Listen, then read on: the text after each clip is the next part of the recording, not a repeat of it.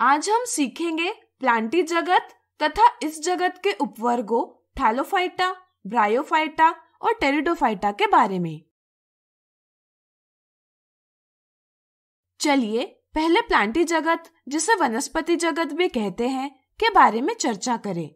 इस जगत में सभी स्वपोषी जीव, यानी ऑटोट्रोफ्स आते हैं, जो क्लोरोफिल की सहायता से प्रकाश संश्लेषण, यानी फोटोसिंथेसिस करते हैं और अपना भोजन स्वयं बनाते हैं। सभी पादप प्लांटी जगत के सदस्य हैं। वे सभी बहुकोशिक जीव, यानी मल्टीसेल्यूलर ऑर्गेनिजम्स हैं, जो यूकेरियोटिक कोशिकाओं से बने हुए हैं, अर्थात कोशिकाओं में सुसंगठित केंद्रक, यानी वेल डिफाइंड न्यूक्लियस और झिल्लीबद्ध कोशिकांग, यानी मेम्ब्रेन बाउंड ऑर्गेनल्स है। इनमें कोशिका भित्ति यानी सेल वॉल उपस्थित होती है जो मुख्यतः सेल्यूलोज से बनी होती है। इनके शरीर में विभिन्न कार्य उतकों, यानी टिश्यूज के द्वारा पूर्ण किए जाते हैं। क्लोरोफिल उपस्थित होने के कारण इस वर्ग के अधिकांश जीव स्वपोषी होते हैं, लेकिन इनमें से कुछ जीव अंत विषमपोषी, यानी हिटेरोट्रोफ्स भी होते हैं। इनमें से कुछ जीव लैंगिक जनन से, यानी सेक्सुअल रिप्रोडक्शन से तो कुछ अलैंगिक जनन से यानी एसेक्सुअल रिप्रोडक्शन से संतति उत्पन्न करते हैं। चलिए अब प्लांटी जगत का वर्गीकरण समझे। वर्गीकरण का पहला स्तर हम इस आधार पर बनाते हैं कि पादप के शरीर के प्रमुख भाग पूर्ण रूप से विकसित, यानी डेवलप्ड या विभेदित, यानी डिफ्रेंशिएटेड है या नहीं। वे पादप जिनका शरीर बिना विभेदन के है थैलोफाइटा इस उपवर्ग में रखे जाते हैं। अगले स्तर का निर्माण पादपों के शरीर में जल और अन्य पदार्थों के परिवहन के लिए विशिष्ट उतक है या नहीं, इस आधार पर किया जाता है। वे पादप, जिनके शरीर में संवहन यानी सर्कुलेशन के लिए विशिष्ट उतक नहीं है, इन्हें ब्रायोफाइटा इस उपवर्ग में रखा जाता है। इन पादपों को, जिनमें संवहन उतक उपस्थित है, को बीज यानी सीड धारण करने की क्षमता के आधार पर वर्गीकृत किया जाता है। बीज रहित पादपों, यानी सीडलेस प्लांट को टेरिडोफाइटा इस उप समूह में रखा जाता है। फिर हम बीज उत्पन्न करने वाले पादपों का वर्गीकरण, बीज फल के अंदर है या बाहर है, इस आधार पर करते हैं। वे पादप, जिनका बीज फलों के बाहर विकसित होता है, यानी खुली अवस्था में होता है, नग्न बीजी, अनावृत बीजी या जिम्नोस्पर्म कहलाते हैं, तथा वे पादप, जिनका बीज फलों के अंदर विकसित होता है, यानी बंद स्थिति में होता है, आवृत बीजी, यानी एंजियोस्पर्म कहलाते हैं। एंजियोस्पर्म का वर्गीकरण बीज पत्र यानी कॉटिलिडोन्स की संख्या के आधार पर, एक बीज पत्री यानी मोनोकॉट्स, और द्विबीज पत्री यानी डाइकॉट्स में किया जा सकता है।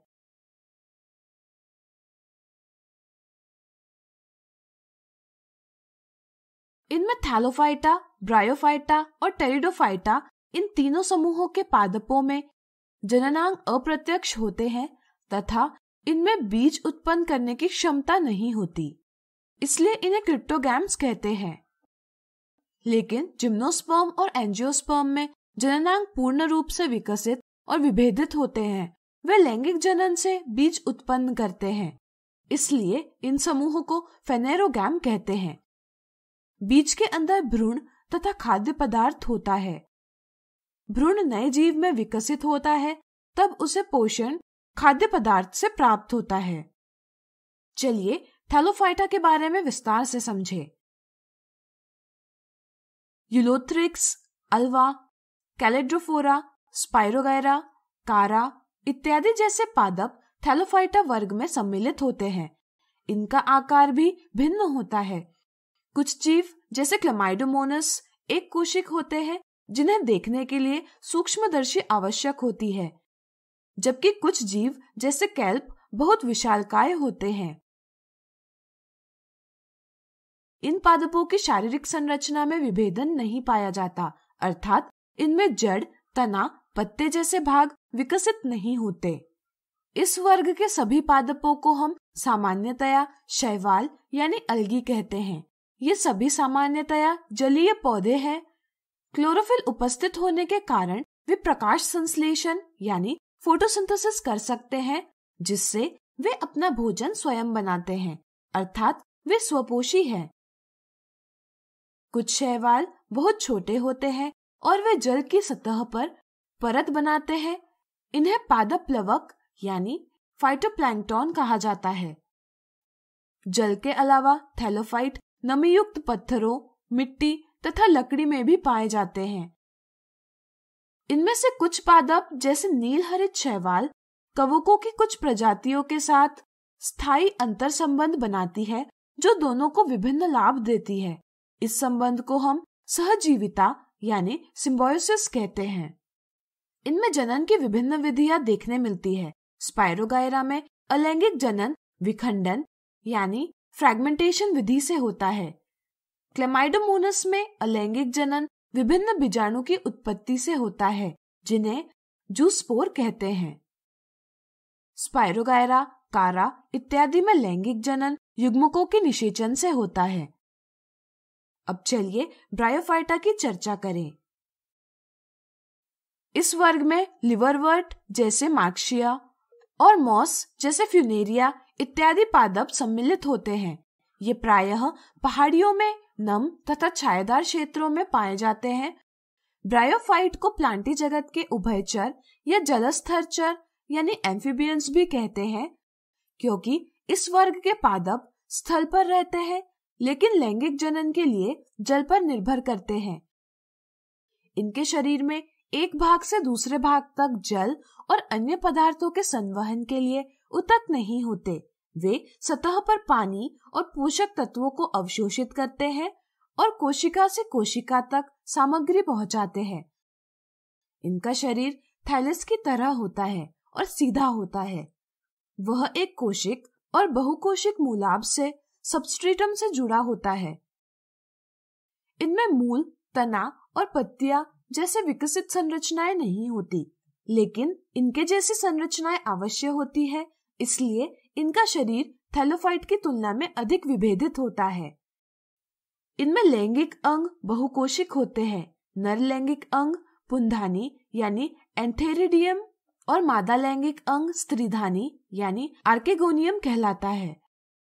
पुंधानी द्वारा नर युग्मक पुमंग उत्पन्न होता है, जिसे पानी में छोड़ दिया जाता है।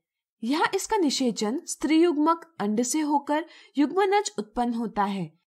इसका रूपांतर सैफ्रोफाइट में होता है। इसके कुछ कोशिकाओं का रूपांतरण बीजाणु में होता है। यह विकसित होकर नया जीव उत्पन्न होता है। अब चलिए टेरिडोफाइटा को समझे। मार्सिलिया, फर्न इत्यादि प्रकार के पादप टेरिडोफाइटा में सम्मिलित होते हैं। वनस्पति जगत के इस वर्ग में वे सभी पादप सम्मिलित होते हैं जिनका शरीर पूर्ण रूप से जड़, तना तथा पत्तों में विकसित होता है, अर्थात पूर्ण रूप से विभेदित होता है। तथा इनमें शरीर के एक भाग से दूसरे भाग तक जल तथा आवश्यक तत्वों के संवहन के लिए विशिष्ट उतक पाए जाते हैं, जिन्हें संवहन उतक कहा जाता है। जाइलम उतक जल का परिवहन करता है, जबकि फ्लोएम उतक भोजन एवं अन्य पदार्थों का परिवहन पादप के एक भाग से अन्य भाग में करता है। इनमें पुष्प नहीं होते और बीज उत्पन्न नहीं होते। नर लैंगिक अंग पुंधानी यानी एंथेरिडियम और मादा लैंगिक अंग स्त्रीधानी यानी आर्केगोनियम कहलाता है। पुंधानी से पुमाणु निकलकर पानी के माध्यम से स्त्रीधानी के मुँह तक पहुँचते हैं। स्त्रीधानी में स्थित अंडे का नर युग्मक से निषेचन होकर युग्मनज बनता है। यह विकसित होकर नया जीव उत्पन्न होता है।